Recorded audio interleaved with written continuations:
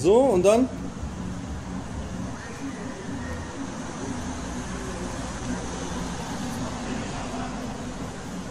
Komm mal her. Wer ist hier im Spiegel? Sag mal. Akku natürlich. Ja, das Bild auf meinem YouTube-Kanal ist nicht bearbeitet. So, diese zwei Kanäle könnt ihr abonnieren. Einmal Akku, The Persian Killer für Kraftsportvideos, Muskelaufbau und alles, was in diese Richtung geht. Und darunter Akku Power Let's Play, wisst ihr ja, für Panzer Let's Plays und so weiter. Und unten seht ihr mein Facebook. Akku Akku Amani. Alles klar, viel Spaß beim Video.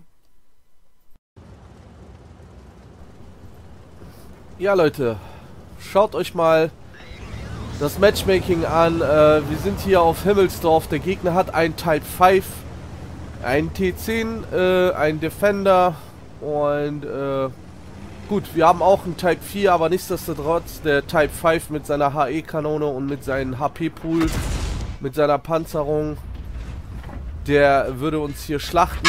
Ja, ich kassiere hier zwei unnötige Treffer, nichtsdestotrotz mache ich hier viele Gegner auf sodass unser Team ungefähr weiß, wer wo sich verteilt.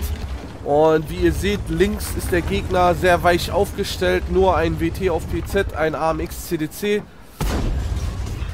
Ja, und in diesem Gefecht geht es einfach darum, sich nicht dem Gegner sinnlos in, den, äh, in die Schussbahn zu werfen. Ja, der E5 konnte natürlich den CDC rausnehmen.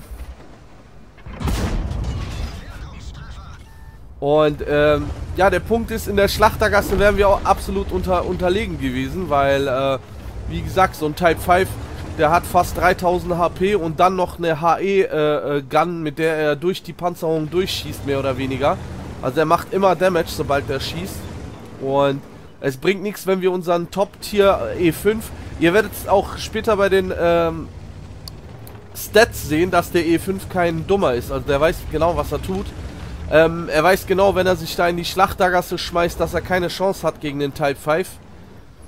Äh, ich genauso wenig. Dementsprechend, ich stand erst hier, dass ich da den Type 5 flankieren kann, falls er kommt.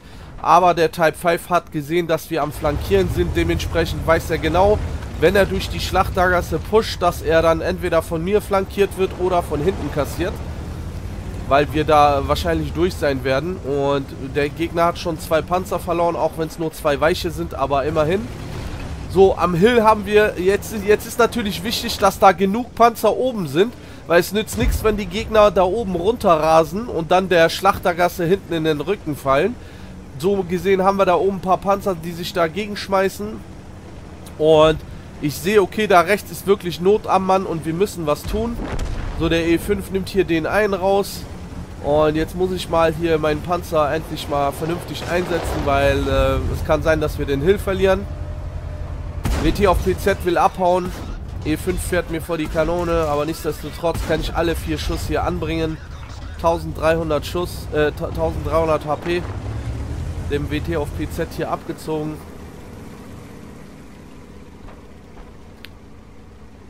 Ja, ich weiß nicht, warum der E5 hier nicht äh, da irgendwie äh, ein bisschen noch was rausgenommen hat, weil mit seiner Frontpanzerung hätte er hier ruhig noch ein, zwei Schuss landen können.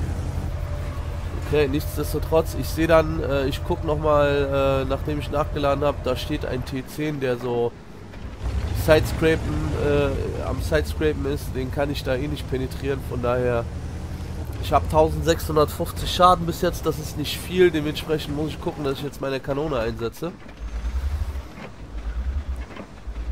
Type 5 dreht mir seine Seite zu, ich kann ihm zwei Schuss in die Seite in den Turm setzen. Lade auch als nächstes Gold nach, um den Type 5 mal äh, empfindlich zu beschädigen. Bin jetzt bei 2370 Schaden. Type 5 ist schon empfindlich getroffen. Unser E5 äh, ja, macht hier sein Ding.